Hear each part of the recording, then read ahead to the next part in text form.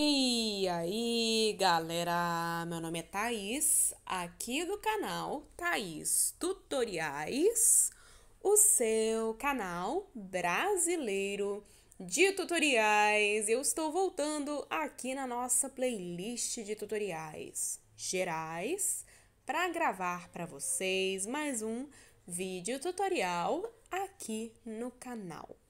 E no nosso tutorial anterior, eu ensinei para vocês como deixar uma linha fixa no Excel, como congelar uma linha específica de forma super fácil, tá, galera? Com menos de seis minutos.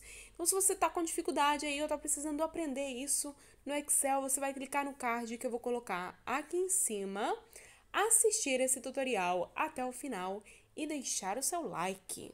Porque no vídeo de hoje você vai aprender como digitalizar um documento pelo seu celular, tá?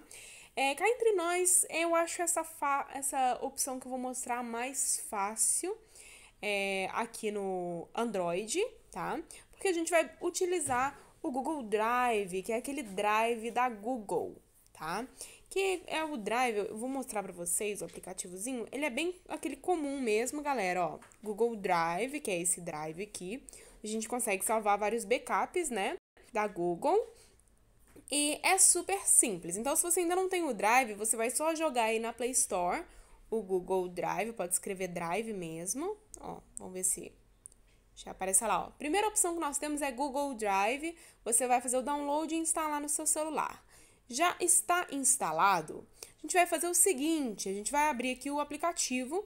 Vocês estão vendo ali embaixo, ó, em cima da minha barra de, barra de ferramentas, eu tenho a barra de ferramentas com início, com estrela, compartilhar e arquivos.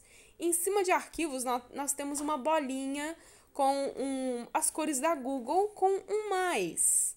A gente vai clicar nessa opção e nós já temos ali a terceira opção em criar novo digitalizar.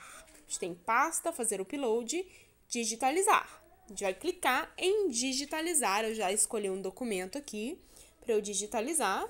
Ó. Beleza, o documento está aqui. Agora a gente vai tirar uma foto boa aqui desse documento. Ó.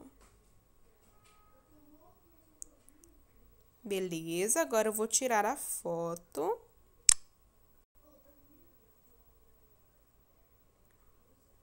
E vou clicar ali no Vzinho, ó. Se você não gostar da foto, você pode tirar de novo. Beleza. Aí, a partir da digitalização que você, da foto que você fizer, ele vai digitalizar a partir daquela foto. Eu não gostei muito, então vou fazer de novo. Ó, interromper, ok. Vamos fazer de novo, porque eu achei que ficou péssima essa foto. Tentar fazer um pouquinho melhor, ó. Depende da luz também, tá, galera? Que você estiver colocando no seu documento.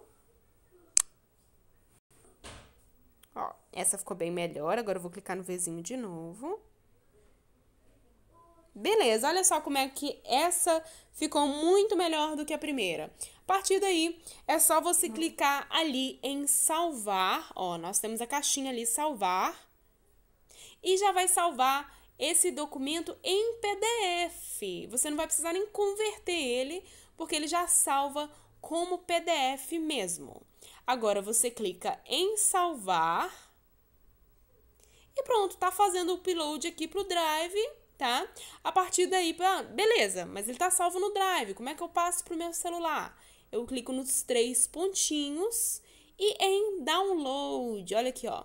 Nós temos a opção download. Eu clico e o download de um item será feito e a gente abarra ali a barra de abaixa a barra de notificações e está fazendo o download. Aí o aplicativo ele já fica no seu celular salvo, tá? Lá no gerenciador de arquivos. A partir daí, é só você utilizar, fazer quantas digitalizações você quiser, né? Para utilizar o aplicativo. Então, vocês viram que é super simples, então quem tiver alguma dúvida ou sugestão, Pode colocar também aí nos comentários, que eu sempre estou lendo os comentários de vocês.